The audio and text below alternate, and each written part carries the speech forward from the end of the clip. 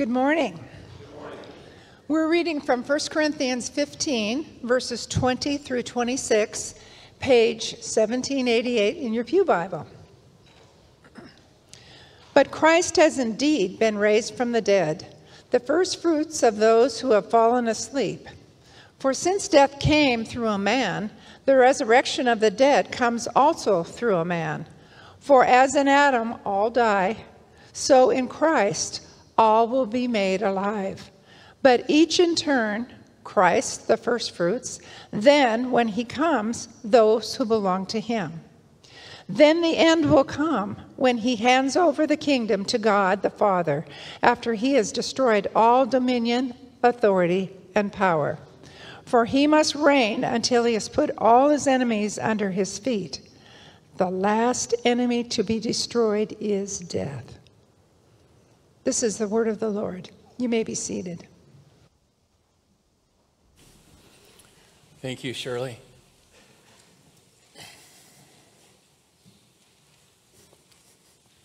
Good morning. A few things to bring your attention before I get into the message. By the way, we'll be in John chapter 12, verse 27 to 36 today. So if you want to go ahead and, and, and have that place prepared in Scripture, that would be great. Uh, a couple things. Remember, we have the, the, the, the grief share starting tomorrow night, 6 p.m., here at the church. And some of you have been involved in that. Uh, maybe some of you need to be. It's just a wonderful, real group. I've heard so many good things from this group. I thank you for Jim and Shirley's leadership. If you want to know more, just talk to them. Shirley just read uh, about Grief Share. It's an incredible ministry that might really bless you if you're going through grief or loss of some kind. But it starts tomorrow. I also want to let you know that the t shirts are still on sale. Uh, and again, $10 from every shirt goes to uh, a, a, scholarship fund to help people going towards Hope Learning Center or Agape Christian Academy, uh, some sort of Christian education alternative. So if that's something you're interested in, uh, t-shirts look wonderful. There's different colors. There's uh, I, I, actually wore one last week and was going to wear one this week, but I had a couple people concerned about me wearing jeans. So hey, that's okay. I didn't do it this week, but uh, the t-shirts are, are, are, great. And so if, if you, you check out, there's a table back there at the end, uh, at the end of the service for you to look at. Uh, also, we have baptisms on June 11th, which is next Sunday, and August 13th. We have a couple baptisms next week in the second service. If you need to be baptized, please talk to me about that. Call the church office. August 13th is going to be in connection with the church picnic. Uh, so just to let you know about that. And a couple other things to let you know about uh, is one is, is Senate Bill 5599. There's a referendum. Uh, we have a signature table back there for that, uh, as well as another one um, dealing with parent parental rights. And if you'd be willing to sign that, uh, if that's something you desire, understand that Senate Bill 5599 is evil. It's an attack on the family. It's one that at 13 years of age or older, someone can run to, an, to a place and run away from home and have quote unquote gender affirming care, which you can give them chemical castration or physical changes, uh, surgeries to their body without parental support or approval. Uh, and it's also, um, I, have been doing a lot of reading. I guess it has implications for those under 13 as well. So know that it is uh, an important bill. I think that it's, it's, uh, it's already passed, it's currently law. Uh, and so, what we're doing with the referendum is we're trying to get up to the vote of the people in November. That's what we're really trying to do. And so we need 200,000 signatures statewide. I hope you'll consider signing that. You know, I, a lot of people say, don't be too political or anything. There are some things that are directly against God's word. So God's word says we're created in his image. Right? And, and, and it also tells us to honor our parents. And it says the parents are the foundation, not the state. And so I can take a direct course from Scripture to what, how we should respond to this particular situation. So I make that very clear. Sometimes we do things because Scripture tells us, gives us a moral duty. And this is one of those we have a moral duty to interact on behalf of families, on behalf of parents, and on behalf of children. Uh, you know, someone who's 13 years old who might be confused. I don't know how many of you might have been confused when you were 13. Things change as you go through puberty. It doesn't even give them a chance to do that at this point. It just goes in and makes permanent changes that they will change their lives forever. And personally, I think that it should go to the parents, not to the state, to make decisions on behalf of their children. How many of you agree with that?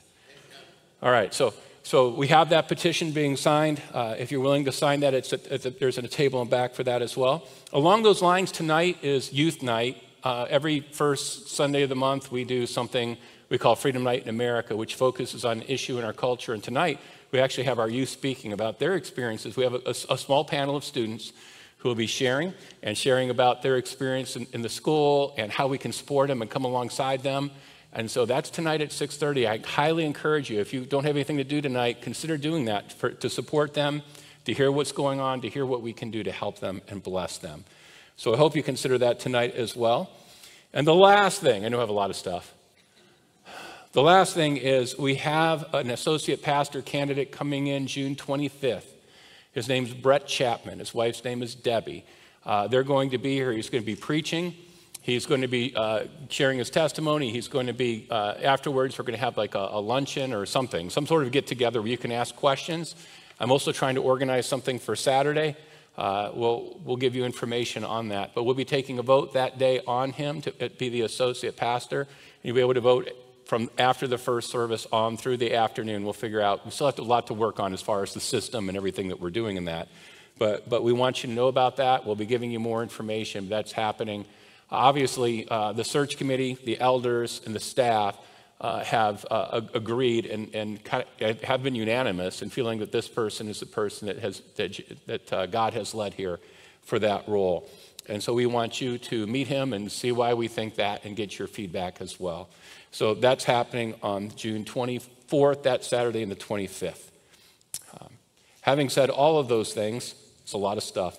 I'm going to pray for us before we get into the message. Father, I want to thank you for today. I thank you for a church body that understands the seriousness of the times that we are in. We want to be aware of the times that we are in. Uh, Father, from all indication, it seems like we're on the doorstep of a tribulation that is soon to begin, and a rapture could happen any moment. But Father, we don't know the timing. You do. We know what we're called to do. And Father, I pray that we would be found defending children, defending families, defending parents, in which you've called them to do and giving them, Father, anytime someone's desiring to hurt them in any way, that we would be salt and light that's standing against the darkness of our culture. Give us courage to do that at every turn. Uh, Father, I pray for Youth Night tonight to bless you and to bless those students and to really help us to think as a church body through some of these difficult issues. Uh, Father, I, I, thank you for calling Brett here, uh, Brett Chapman. I, I pray that, Lord, that you would confirm if that is your will, that you would confirm that he is indeed the person for the church body. I thank you for those children who went downstairs uh, to our youth or to our children's ministry and those teachers. Bless them, Father. All the teachers are so important. The kids are so important. The battle is for our children right now in our culture, and we need to not only understand that, but to act on it, Lord, and we know that. I pray for Diana Suverly, who right now is in Hungary and uh, is serving you in her mission trip, and I pray that you give her energy. I pray that you give her good sleep at night. I pray that she bond well with her team, and I pray that you'd use her in a mighty way and encourage her heart while she's far from home. Remind us to pray for her. And I pray for this time as we look at your word. Open the truth of your word to us. Uh, Father, let, it, let us take it in and let it sink deeply into our hearts and our souls so that we would respond to your word in a way that pleases you and glorifies you and draws us near to you. We lift all these things up, things up to you in Jesus' name. Amen. One of golf's most interesting moments came when a Scotchman demonstrated the new game to President Ulysses S. Grant. Carefully placing the ball on the tee, he took a big, mighty swing. The club hit the turf and scattered dirt all over the president's beard and surrounding vicinity, while the ball remained resting on the tee he had missed. Again, the Scotchman took a big swing, and again he missed. Our president waited patiently through six tries and then quietly stated, There seems to be a fair amount of exercise in the game, but I fail to see the purpose of the ball. We need to know our purpose and seek to accomplish our purpose. Our purpose at Bethel Community Church is to help people become faithful followers of Jesus. We want to live with purpose in mind so we don't waste life that the, the life that Jesus has given to us. We want to be, just be taking a series of swings and misses. Jesus modeled a life with purpose better than anyone else I can think of. Jesus lived and died with a purpose in mind. That purpose was so that others, including you and me, could be in relationship with him for eternity. Last time we were in the book of John, we saw Jesus responding to the desire of Gentiles to meet with him. They desired to meet with him, and his response was to point to the work of the cross and what it accomplishes for all people. We also saw him call his followers to exemplify the same lifestyle in our selfless service and sacrifice. Now, in our passage today, we see Jesus, Jesus continuing to discuss the importance of his death on our behalf, a death with a very specific purpose. So, in John 12, verse 27 to 33, and again, I invite you to turn there with me if you haven't already.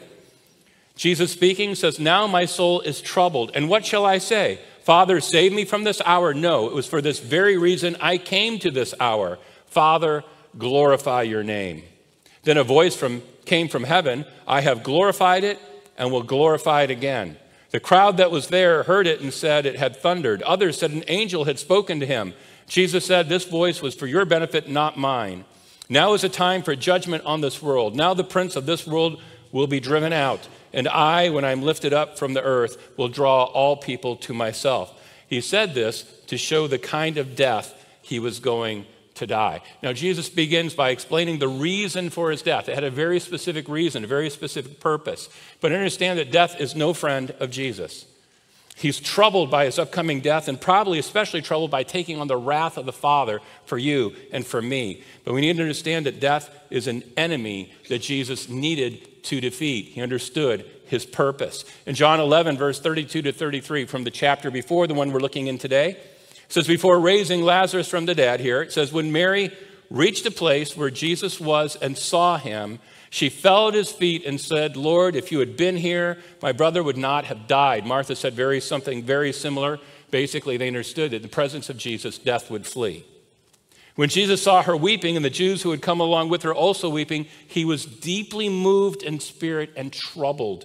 The word for deeply moved here means to be greatly agitated, to be angered, to be indignant. It means to be moved by anger. Well, what was Jesus angry at? Is he angry at Martha? Is he angry at Mary?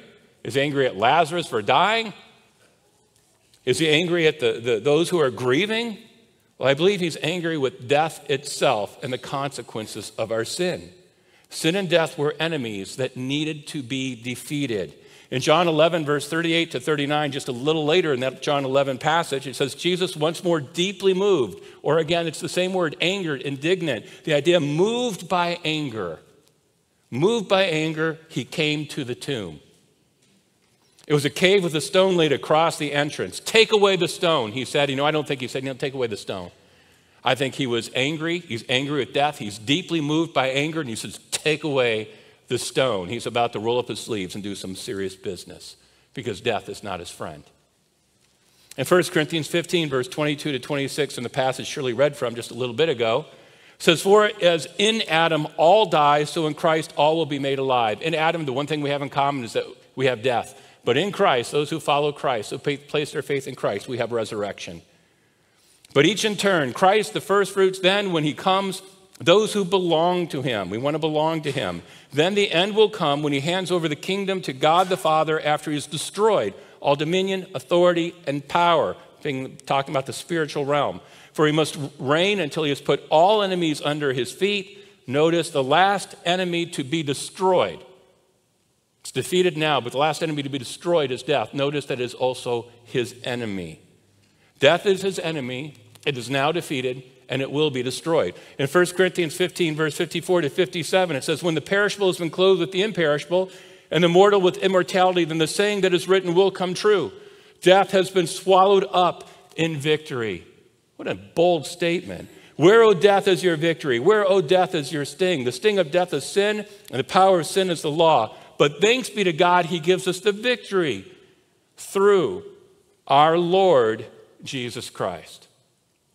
Now, legend has it that on June 18th, 1815, the French, under the command of Napoleon, were fighting the Allies, the British, the Dutch, and the Germans, under the command of Wellington in the famous Battle of Waterloo.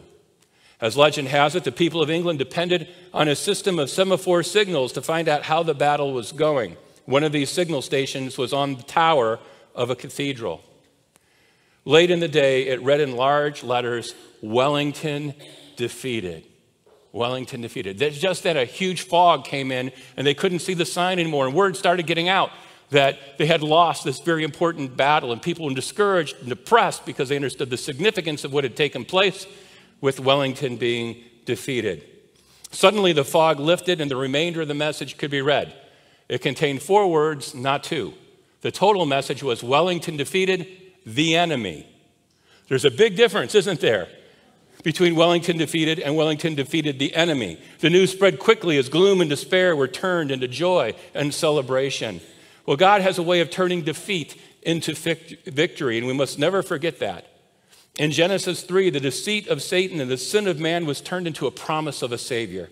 In Exodus, the pursuit of Pharaoh was turned into a mighty escape, a mighty deliverance. The grave was turned into a resurrection, and the finality of death was turned into eternal life. Jesus has defeated the enemy. Do we understand the significance of this truth? If we understand the significance of this truth, it will change us, it will draw us, it will compel us, it will seize us. Do you understand the significance of the cross? You know, we come in here and we celebrate communion, and we, well, we should because we're celebrating the cross and what it accomplished. We have symbols like the cross that's behind me. When we look at that, have we gotten to the point where we just see that as a symbol, or do we understand its significance? Are you a believer who goes through life day in and day out, and, and, and, and now you've just kind of become desensitized to the significance of what has taken place and what has been done for you. I want to let you know the cross has seized me. The blood of Jesus has seized me, and I am not the same. And we must fight that pull of the world that draws us away from the significance of what has taken place on our behalf. Now, to defeat death, he received the wrath of his Father in our place for our sin. In John 12, verse 27 to 28, Jesus prayed, Now my soul is troubled. And what shall I say? Father, save me from this hour? No. It was for this very reason. This was his purpose. It was for this very reason I came to this hour. Father, glorify your name. In other words, Father, have your will. John's gospel does not include Jesus' struggle in the Garden of Gethsemane as the other gospels do. And this may be John's way of sharing Jesus' turmoil he does so by sharing this exchange with the crowds that exposed his turmoil even before he went to the garden. When Jesus says, My soul is troubled, the word for troubled is tarasso. It means to agitate, to terrify, referring to acute emotional distress. Jesus isn't like, yeah, I'm a little troubled by this. He is. It has pierced his soul. It goes down to the depths of who he is. He is troubled. He is terrified in his spirit over what is going to take place. Yet Jesus would submit to his Father's will. He said, No, it was for this very reason I came to this hour. Father, here we have a prayer, submitting his will, glorify your name. And this is very similar to what we see in the Garden of Gethsemane in Matthew 26, verse 39. It says, Going a little farther, he fell with his face to the ground and prayed, My Father, if it is possible, may this cup be taken from me. Yet not as I will, but as you will. Jesus is obedient to the Father, glorifying his name. In verse 28 of our passage, he prays for his Father's name to be glorified through him. But understand, for that to happen, Jesus must endure not only the pain of the cross, but the emotional pain of receiving the weight of our sin as the Father pours his wrath out on him for our sin. He took the penalty that we should. This was a horrifying and yet sacred moment all Jesus had ever heard, you think about the relationship between Father, Son, and Holy Spirit from eternity past, before there was time. I can't even understand that. But they have always existed in a relationship where the Father has said, This is my beloved Son with whom I'm well pleased. Listen to him. We see statements like that in the New Testament. He's pleased with the Father, or the Father's pleased with, he's pleased with the Father. Jesus pleased with the Father, and the Father's pleased with him. We have this close, intimate relationship in the Trinity, in the triune God. But here in this moment in time, when he takes on the wrath for our sin, that's not what happens. Instead, he takes the wrath. This is really kind of a horror story lived out by God in the flesh. In Matthew 27, verse 45 to 46, from noon until three in the afternoon, darkness came over all the land. About three in the afternoon, Jesus cried out in a loud voice, Eli, Eli, Lama Sabachthani which means, My God, my God, why have you forsaken me? It's a quote from Psalm 22 1, but it's a whole lot more. It's really happening.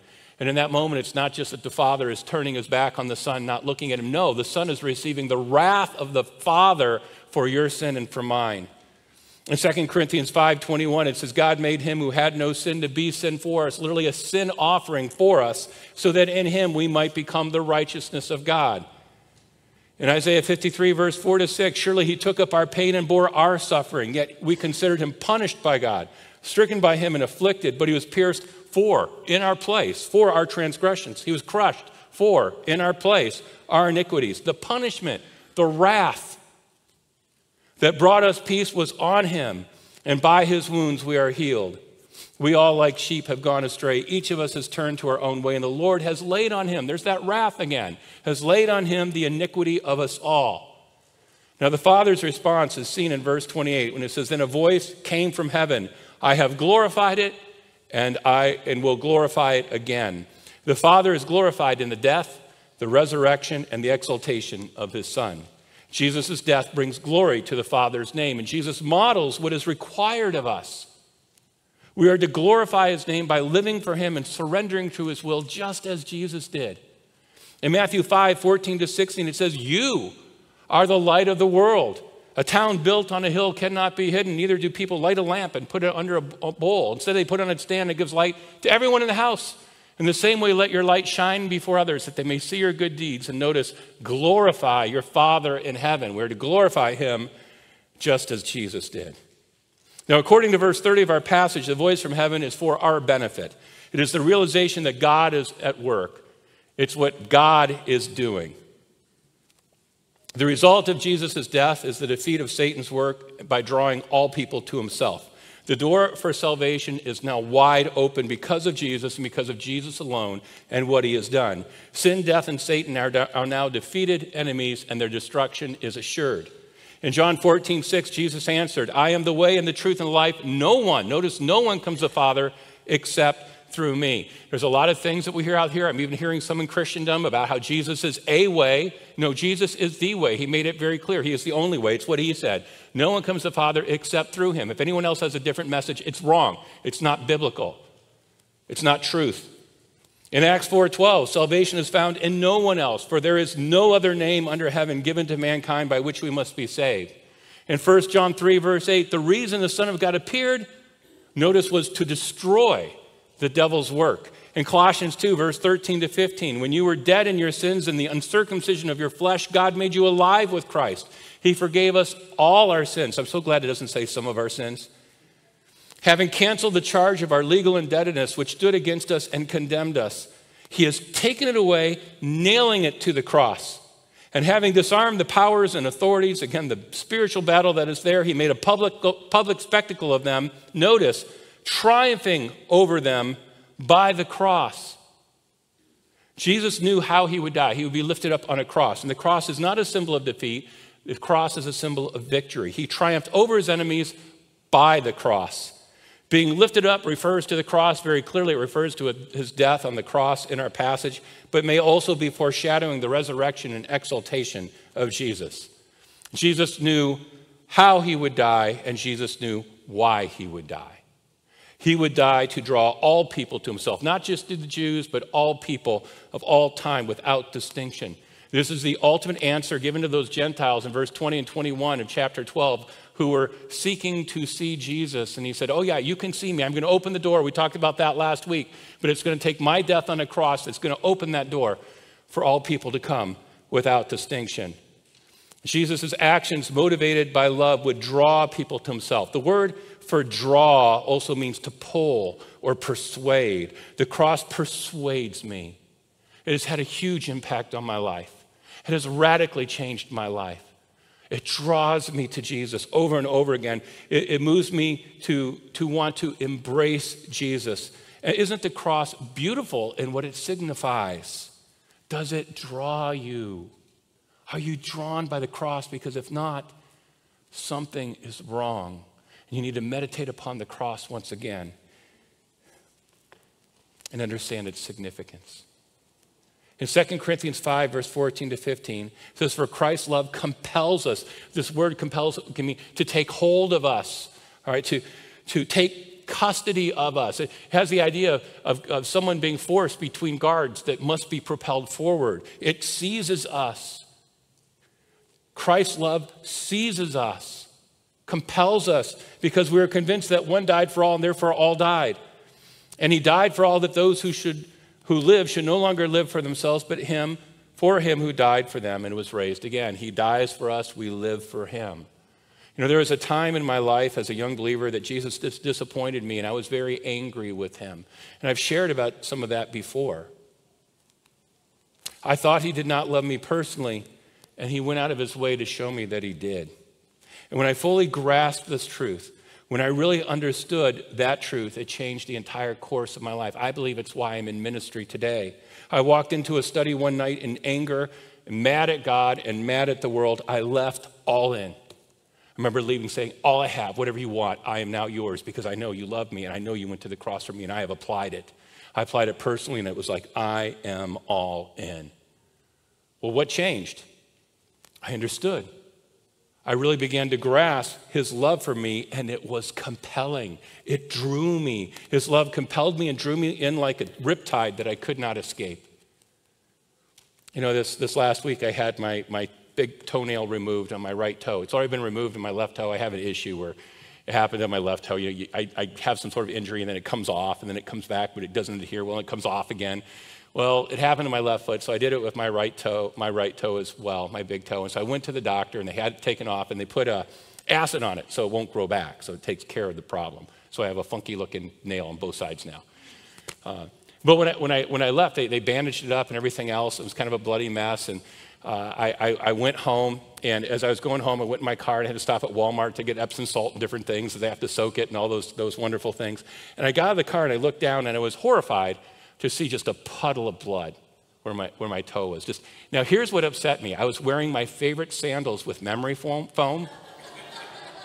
they're not really expensive, but they're my favorite sandals. And I remember looking down. Most people would have been freaking out because of the puddle of blood. I was like, my sandal.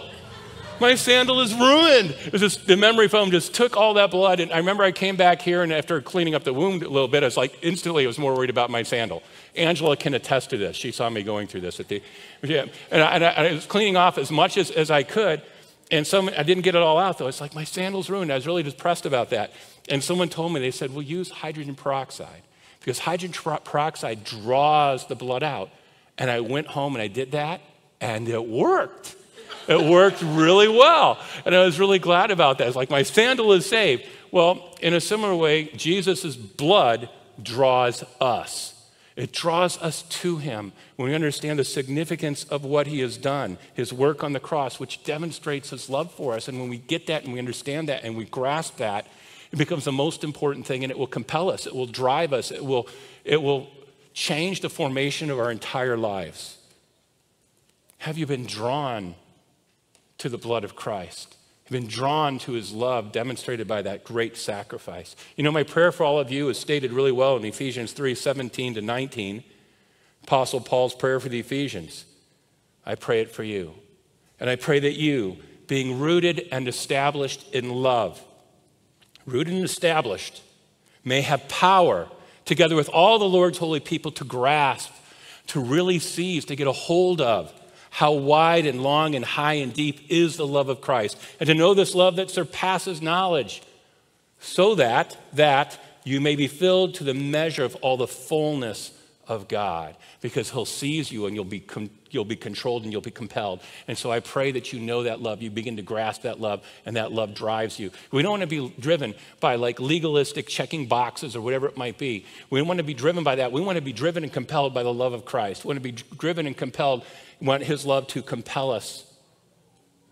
Not his rules, but his love. The idea in the Ephesians 3 passage is that literally we, the church, we become like Christ, who is the fullness of God in our love. Without love, we cannot become like Christ. We must grasp and apply his love for us to fully love others like he does. Now, the crowds that were present misunderstood their great need, and that can still be a problem today. People don't understand the seriousness of sin. And one thing I think that keeps us from having the cross compel us and, and, and drive us and for us to be drawn into Jesus is because we think our sin isn't that bad. Maybe, maybe you don't need the cross. Maybe just be fine on your own. Maybe we'll stand before Jesus. You know, I'm a pretty good person, don't you agree? And Jesus said, Oh, yeah, you're awesome. I, I, you, you didn't need the cross. You're the exception. No, you're not. You need the cross. In John 12, 34, it says, The crowd spoke up. We have heard from the law that the Messiah will remain forever. So, how can you say the Son of Man must be lifted up? Who is the Son of Man? So they understand that Jesus claimed to be the Messiah. They understand that's what's at stake. And they understand somehow that Jesus is talking about going away, death in some way. They're, they're starting to get this understanding. Wait, wait a minute, time out. The Messiah is supposed to come and he's supposed to reign forever and ever. They're expecting something different from the Messiah that, than what Jesus was postulating. And, and we see what they were thinking in some messianic passages, like Daniel 7, verse 13 to 14. In my vision at night I looked, and there before me was one like a son of man coming with the clouds of heaven. He approached the Ancient of Days and was led into his presence. He was given authority, glory, and sovereign power. Somehow he's God, but he's not God the Father. All nations and peoples of every language worshiped him. So that, this is a messianic passage. His dominion is, notice, an everlasting dominion that will not pass away. They say, hey, wait a minute. It's an everlasting dominion. It will not pass away. And his kingdom is one that will never be destroyed. They're thinking Messiah's going to come. He's going to rule forever, and there's never going to be an end to his reign.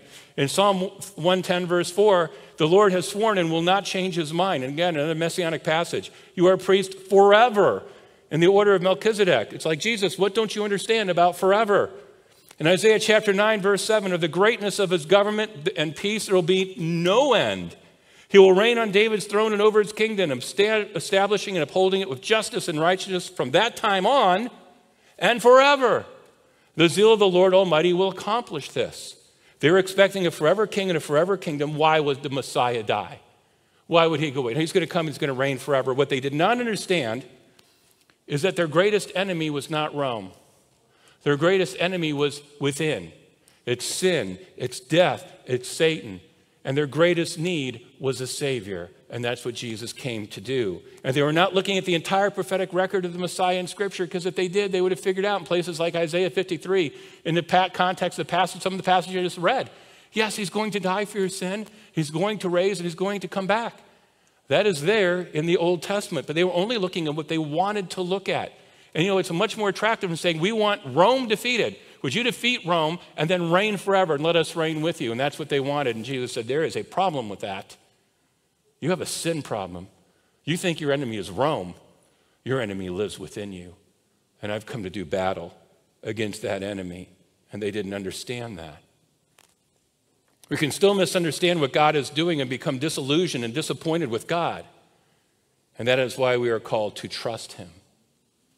Sometimes things that don't make sense only make sense through the lens of faith. Is Jesus trustworthy?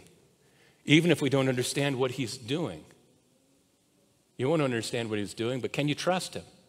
Can you trust his plan? Can you trust the greater plan? Oswald Smith was a Canadian pastor, an author, and a missions advocate, a man of prayer. You read his story, the guy prayed a lot. In 1920, he was standing before an examining board who was selecting candidates for foreign missions. And his one passion as a, as a teenager, as a young man, was to go and serve God in the mission field. He wanted to be a missionary and take the gospel so badly. That's what he felt called to do. It's all he wanted to do. Over and over again, he prayed, Lord, I want to go as a missionary for you. Open a door of service for me. Now, at last, his prayer would be answered before this board. However, they, when the examination was over, the board turned Oswald Smith down. He did not meet their qualifications. He had failed the test and he was devastated. Oswald Smith had had his mind set up. He had his heart set on being a missionary, and now life had thrown him a curve. What would he do? Well, as Oswald Smith prayed, and again, a man of prayer, God planted another idea in his heart. If he could not go as a missionary, he would build a church which could send out missionaries. And that's exactly what he did. In 1928, Smith founded and pastored a church in Toronto, Canada, which sent out more missionaries than any other church at that time. Oswald Smith trusted God, and the Lord transformed his disappointment into a greater work than Smith could have ever imagined. God had something bigger, something better in mind. No, your giftedness is going to send out not just you, it's going to send out many. He had a greater, bigger plan than what Smith had in mind. Can we trust his plan? Jesus still calls us to trust him and his plan. In John 12, verse 35 to 36, and Jesus told them, You are going to have the light just a little while longer. Wait a minute, the Messiah is supposed to come and reign forever, and you're saying you're only going to be here for a little while longer? I don't like that plan. Walk while you have the light before darkness overtakes you. By the way, seizes, apprehends, takes possession of you. That's what it says about the darkness here. Whoever walks in the dark does not know where they are going. Believe in the light while you have the light so that you may become children of the light. When he had finished speaking, notice Jesus left and hid himself from them. That's his plan? Go away? Hide yourself? That doesn't sound like a good plan. You know, the world is a dark place. You may have noticed the darkness. People desperately need Jesus. They don't know where they're going and they're stumbling around in darkness. Jesus is the light. He was telling people in our passage they should take advantage of his light while he is there with them on this earth. His plan was to die, resurrect, and ascend and send the Holy Spirit. That was his plan. It's a great plan. It's not the plan these people saw, but it was an incredible plan. The light of Jesus is still available today because he died and he did that. And the world is in need, and so are you. Even if you're a follower of Jesus, the enemy is trying to distract you and take you captive. Trying to take you captive by hollow and deceptive philosophies that are out there. They'll, they'll have you put your energy and your mind on those things rather than on Christ. Matter of fact, Colossians 2.8 says that. In verse 6 and 7, it says that it's talking to the church, and it says, so this is talking to believers, see to it that no one takes you captive. You can be taken captive through hollow and deceptive philosophy, which depends on human tradition, and the elemental spiritual forces of this world, notice, rather than on Christ. You know, I think the church in a lot of places are being taken captive. I read different things about different churches, and I just read about another seminary that was going into, you know, they're heavily into Pride Month or heavily into all these things. They're going all in, and, and it's like they're, they're going away from the gospel to go, this is what the world tells us we should do, and they're, they're going into that. They're, they're, they're believing the lie, and they're, de- they're depending on philosophy of this world and, and the elemental spiritual forces of this world rather instead of Christ. No, Christ is the foundation. Christ is always the foundation. Keep your eyes on Christ. Fix your eyes on Jesus. And if anything tells you to go differently or gives a different gospel, that's false. If anyone gives you any hope outside of Jesus, they are giving you a false hope. We need to remain in the light and then shine that light. John 8 12, it says, When Jesus spoke again to the people, he said, I am the light of the world. Whoever follows me, notice not just believes in me, but follows me. We should follow him. Whoever follows me will never walk in darkness, but will have the light of life. We must follow after Jesus. In John 16 33, Jesus said, I have told you these things so that in me, those are very two very important words. Sometimes we skip over the really important words. Sometimes they're small. The in me is very important here. I have told you these things so that in me you may have peace. You're not going to have peace outside of him. As believers, we think sometimes we just can't peace because we're Christians. No, you need to remain in him and follow him and seek after him. Let him be the foundation so that in me you may have peace. In this world you have trouble, but take heart, I have overcome the world. We can become so discouraged. I can. I can become very discouraged and depressed when I see what's on the news and I see where the direction things are going. Take heart, Jesus says. Remain in him because he has overcome the world. Jesus left after this interaction with the crowds, and it is the end of his public ministry in the book of John. He's still going to minister to his disciples, and we're going to see that over the next several chapters. But his interaction with the crowds will now only come in the context of them yelling, Crucify. He is preparing to do battle with sin, death, and Satan at the cross, and the window for their response is closing.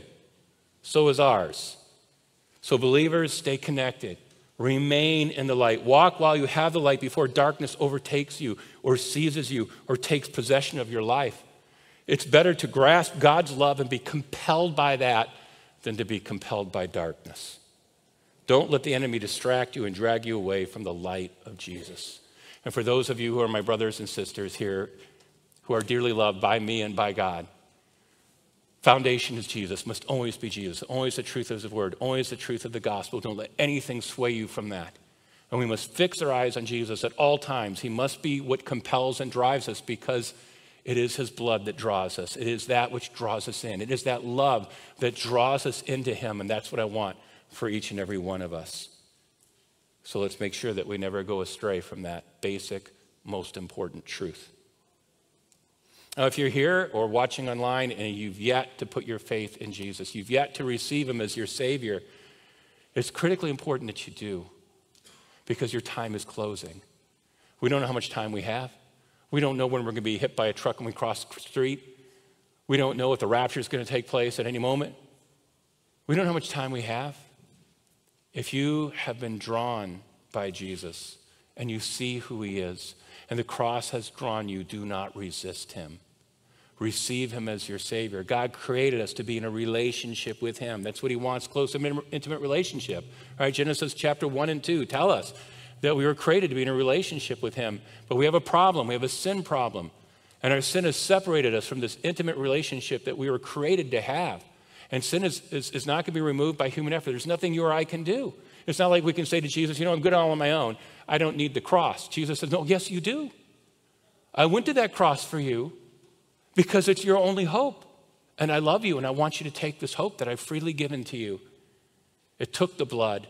Let the blood draw you. Paying the price for our sin as our advocate in our place, Jesus died on that cross and he rose again. That everyone puts their faith and trust in him as eternal life, life that begins now and lasts forever, which is a really long time. If you've yet to personally invite Jesus as your Savior, please don't resist him. If he's drawing you, please respond to him. I'm going to pray in closing here, as, as I always do, and give an opportunity to respond. As I often say, it's not my prayer that is, it's, it's you trusting in Jesus and receiving what Jesus has done in your place and trusting in that alone instead of anything else. Prayer is just one way to communicate with God the desire to receive that truth. So if it's your desire to, to do that right now, please do. Please pray along with me. The Holy Spirit prompts you. Do not resist him. Pray along with me in your heart right now. Jesus, thank you for dying in my place for my sin on the cross. Thank you for shedding your precious blood for me. I am a sinner. I have fallen short of your perfect standard. And I need a Savior. You are that Savior. I need you. I turn from things that I've trusted in to be good enough in your sight. And Jesus, I trust in your work on the cross alone. I trust you alone for my salvation. I receive you as my Savior, and I trust you that today I am your child, and I always will be. You will indwell me with the Holy Spirit and help me to walk in relationship with you. Thank you for this salvation. I pray in your name, the name of Jesus the Christ. Amen.